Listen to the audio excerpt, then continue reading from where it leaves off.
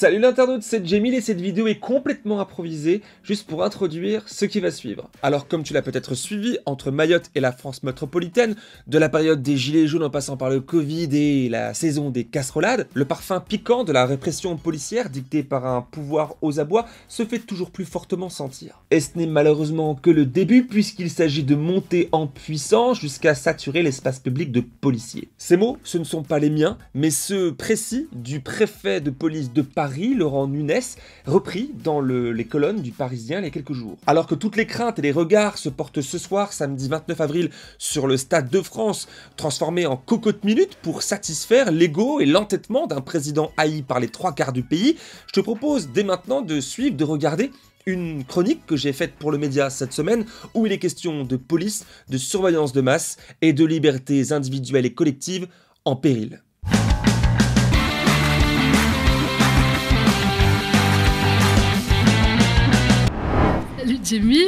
Salut Nadia. Alors tu es venu nous parler de sécurité et des JO 2024. Effectivement, alors pour commencer, je cite L'idée est de monter en puissance. Plus on va s'approcher des JO, plus on va saturer l'espace public de policiers.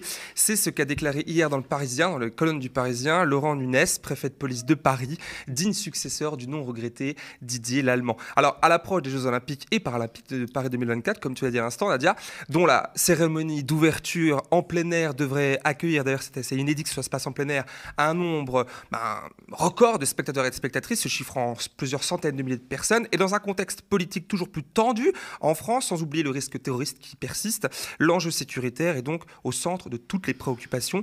Pour Noémie Levin, juriste à la Quadrature euh, du Net, que j'ai reçu plus tôt dans la journée euh, dans le cadre de nos flashs que tu animes aussi très régulièrement de 13h aujourd'hui, aux médias, rien de neuf sous le soleil. Pour elle, les déclarations de Laurent Nunes s'inscrivent dans le plan ultra sécuritaire souhaité par l'exécutif avec les JO en guise d'accélérateur. On l'écoute. Les Jeux Olympiques, en fait, sont un bon prétexte pour euh, accélérer un, agenda euh, sécuritaire et de surveillance. Euh, c'est annoncé depuis pas mal d'années comme une vitrine sécuritaire auprès de la Terre entière et aussi un, laboratoire où on va pouvoir donc, tester les technologies particulières, on, y reviendra, mais aussi un moment où on concentre en fait tous les efforts. Et du coup, ça permet avec ce, ce, caractère exceptionnel un peu des Jeux Olympiques de justifier énormément de choses, de, de, faire accepter plus facilement auprès de la société plus de répression, plus de surveillance. Et euh, dès cet automne, Darmanin avait annoncé effectivement un plan zéro délinquance pour nettoyer les banlieues, je cite. Nettoyer les banlieues. Oui, Nadia, nettoyer les mm. banlieues, c'est un terme bien utilisé par le ministre de l'Intérieur, Gérald Darmanin, il pendant. Pas. Euh, non, c'était Sarkozy. Ah, chacun son style.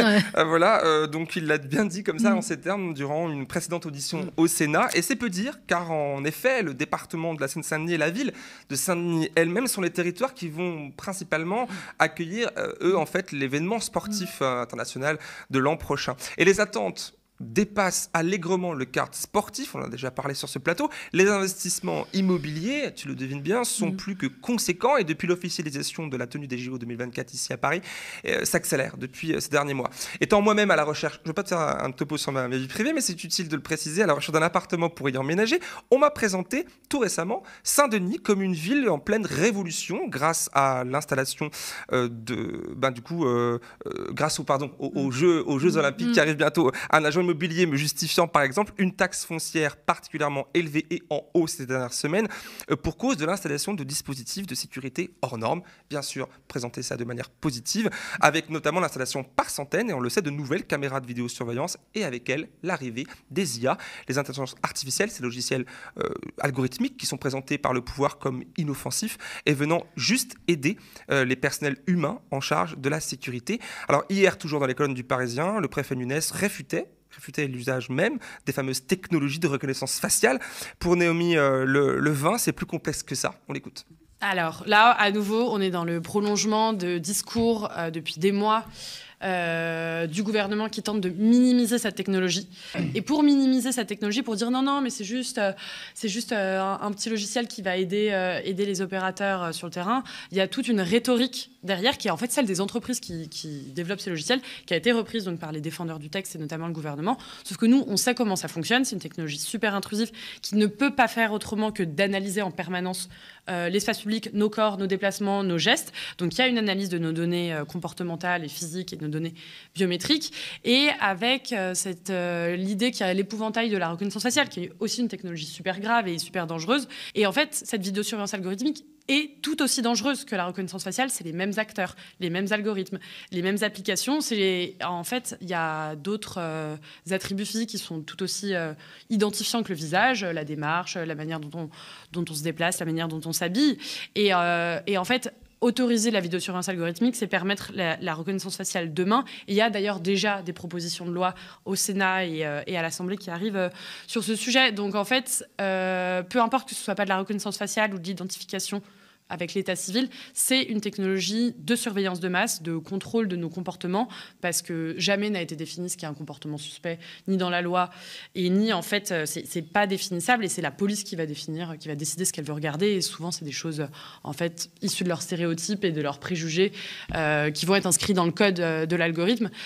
Là, elle aborde deux thèmes, l'intérêt économique, hein, qui est défendu par les industriels qui fabriquent et vendent ces technologies, et euh, ces technologies et l'intérêt politique qui est la surveillance de masse elle-même. Les deux se, confondent. Effectivement, ça se complète mm. exactement. Alors l'occasion de rappeler au passage que les JO 2024 de Paris sont d'abord une vitrine formidable à portée internationale mm. sur le terrain du savoir-faire français en termes de maintien de l'ordre, de sécurité et de surveillance.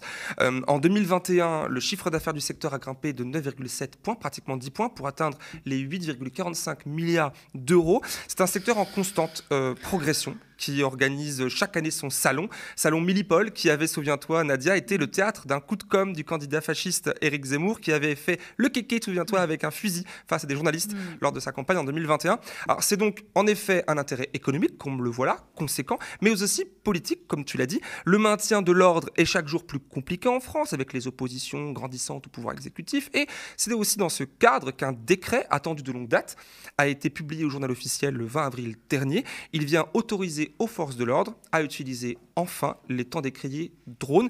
À ce propos, Noémie Levin m'expliquait tout à l'heure que ce décret vient tout simplement acter des dispositions, une des dispositions de la loi sécurité intérieure qui autorise euh, l'usage de ces aéronefs policiers après avoir été interdit en 2020, tu te souviens, pendant le confinement, euh, et euh, aussi pendant la loi sécurité globale, ça n'avait pas fonctionné à ce moment-là.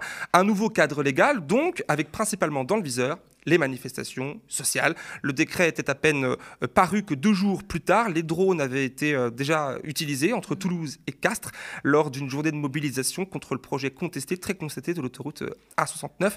Alors Noémie le, le, 20 de la Quadrature du Net alerte, elle, sur cette première application de cette nouvelle législation. On regarde. Il y a eu euh, bah, deux jours après la première application avec euh, l'utilisation des mhm. drones exactement euh, pour la manifestation contre le chantier de, l'autoroute Castres-Toulouse. Et c'est comme les interdictions de manifestation, ça va être aux associations de contester, et en tout cas aux organisateurs, de contester la nécessité d'utiliser ces drones. Et là, on le voit, c'est le préfet, le préfet du Tarn a justifié en disant que c'était voilà des, des, organisations très radicales qui qui allaient être là pour justifier qu'elle allait avoir une une atteinte grave à, l'ordre public. On a vu les images de la manifestation. C'était à peu près pas le cas, c'était assez joyeux, etc. Donc à nouveau, c'est le récit que vont en faire les préfets qui vont justifier. Euh, Vous dites là qu'ils trouveront toujours du coup euh, le récit nécessaire pour utiliser ces technologies. Ils, bah, ils vont faire un récit et après voilà, c'est comme pour les interdictions de manifestation, ça va être aux organisateurs de, les contester, mais à mhm. nouveau dans des délais très courts, souvent c'est 48 heures avant, euh, et ça va être au cas par cas. Maintenant que le décret est là, il va y avoir des autorisations préfectorales pour les manifestations ou pour d'autres événements qui, sont permis par la loi pour utiliser ces drones, et donc il va falloir faire énormément de veille il va falloir euh, documenter et, euh, si possible, donc les contester quand on voit que les drones sont absolument pas nécessaires en fait euh, à ce qui est prévu. Donc on imagine que ce dispositif va mettre en péril l'effectivité de nos droits, et notamment celui de manifester. En tout cas, ça ne va pas faciliter la mm. jouissance de nos droits à manifester. Mm. Effectivement, c'est en effet le moins qu'on mm. puisse dire à cette heure. Et plus largement, le problème ici qui est posé, c'est l'aisance du pouvoir français actuel à décupler systématiquement ben, la, la, présence policière sur le terrain pour venir répondre aux enjeux qu'ils soient sécuritaires, politiques ou sociaux. Il n'y a qu'à voir l'évolution régulièrement euh, à la hausse du budget du ministère de l'Intérieur et donc de la police au détriment d'autres budgets, alors que non, tout ne se résout pas avec plus de policiers ou plus de forces de répression, bien au contraire. Là, oui, c'est inquiétant, en fait, euh, de voir la France qui a toujours ce réflexe sécuritaire sans réfléchir à d'autres, euh, à d'autres manières de faire. Et par exemple, l'instrumentalisation de ce qui s'était passé au Stade de France l'année dernière le montre, mhm. où ils ont mis des policiers qui ont fait n'importe quoi, alors que gérer des foules, gérer des sorties de stade, euh, c'est un savoir-faire, c'est un métier, d'ailleurs c'est fait toutes les semaines, c'est euh, de la signalétique, c'est une bonne organisation des personnes. Donc il y a toujours des manières alternatives que juste réprimer, mettre la, présence policière. Et l'avenir nous le dira si ces milliers et ces milliers de policiers dans Paris vont vraiment servir à quelque chose, ou en fait, et ce qui est souvent le cas quand on parle de nos sujets, on ne parle pas vraiment de sécurité, mais de sentiment d'insécurité. Et on pense que c'est surtout cette démonstration de force faite pour rassurer. Et il n'y a jamais de preuve, il n'y a jamais de démonstration vraiment qui est faite sur est-ce que ce qui est proposé par le gouvernement, que ce soit de la surveillance algorithmique ou plus de policiers, est-ce que ça sert vraiment à l'objectif poursuivi ou est-ce que c'est juste voilà, des manœuvres euh, politiques, politiciennes pour rassurer et pour ne pas avoir à rendre euh, de compte euh, ensuite? Et en précisant que le, pouvoir annonce 2800 policiers et policières fraîchement diplômés de l'école de police en plus ce prochain mois. En quelques mois, quoi, les formations express, c'est ça. Bon, maintenant qu'on a dit tout ça, est-ce qu'on pourrait dire que bah, qu'il faudrait quand même moins de policiers Alors, tout dépend de là où on se place pour en faire la lecture. Alors la sécurité est un enjeu important et mm. sérieux, l'assurer pour toutes et tous est forcément primordial, sauf que, rappelons-le, trop souvent, euh, la police peut elle-même faire partie du problème, notamment en ce qui concerne le maintien de l'ordre régulièrement calamiteux ou encore dans, les cas, dans le cadre euh, des trop nombreuses violences policières documentées depuis des mm. années et qui euh, relèvent là d'un problème interne, systémique bien plus large. Cela soulève évidemment tout un tas de paramètres, comme par exemple la formation des mm. agents et agentes. À côté de ça, on peut dire euh, qu'il y a aussi des chiffres, des chiffres avancés par le ministère, par, euh, notamment de l'Intérieur, mais aussi euh, mm. qui en fait partie, qui attestent, par exemple, on le voit à l'écran, d'une baisse de 28,8% des vols avec violence, ou encore des violences physiques dans les transports en commun, qui, selon le préfet, reculent de 27%. Alors, ce n'est pas négligeable, évidemment, vu comme ça, mais encore faut-il définir euh, ce, de quoi on parle quand on parle de violence. Les vols, par exemple, à l'étalage, étant en hausse depuis déjà plusieurs mois, euh, en parallèle de l'augmentation bah, de la précarité sur fond d'inflation. Le débat est donc plus complexe que de simples courbes et mmh. chiffres abstraits, évidemment. Aussi, pour finir, Laurent Nunes a dû reconnaître dans les colonnes du euh, journal du quotidien parisien que perdure, malgré l'arsenal répressif et policier, les violences faites aux femmes, un défi parmi d'autres que la matraque ne pourra pas résoudre comme un coup de baguette magique. Merci d'avoir suivi cette vidéo qui reprend donc une chronique que j'avais donc écrite et euh, présentée en direct sur le plateau du média cette semaine. Bien sûr, tu peux suivre mon travail là-bas, le travail de mes collègues aussi, sur le mediatv.fr, sur la chaîne YouTube du média. Et si tu le désires aussi, t'abonner à cette chaîne YouTube sur J'ai mille choses à te dire, puisque la chaîne a beau être en pause en ce moment, ou du moins ralenti dans sa production, je peux pas être partout, eh bien elle n'est pas morte pour autant, je continue à faire des vidéos, des shorts, etc. régulièrement, et puis on ne sait pas de quoi demain peut être fait, alors abonne-toi à cette chaîne YouTube aussi, à mon compte Twitter, mon compte Instagram, bref, là où tu euh, es le plus à l'aise, et moi je te dis à très bientôt, puisqu'on a encore mille choses à se dire. Ciao